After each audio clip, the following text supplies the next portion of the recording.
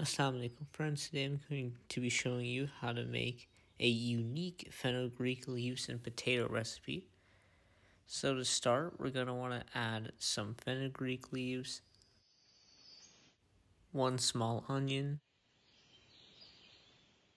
eight garlic cloves, one green chili,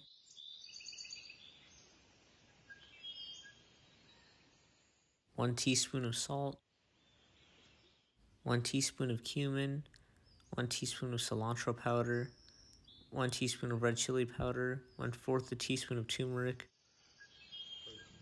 We're going to add one and a half a cup of water. Then we're going to want to put the lid on and pressure cook for 11 minutes. Until you see the water like, like that, then you're going to want to add 3 small potatoes and 1 tomato. Then we're going to put the lid on and pressure cook for one minute.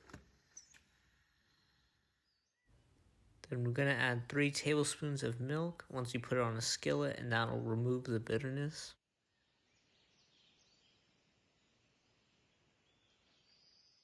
Then we're going to add three tablespoons of oil.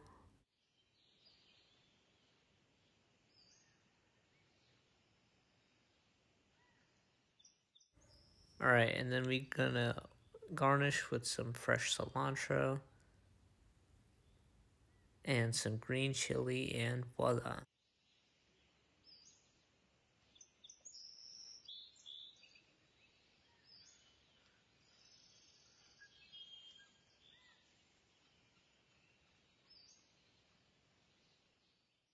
Remember, if you enjoyed, be sure to like, comment, subscribe, and tell me how it went.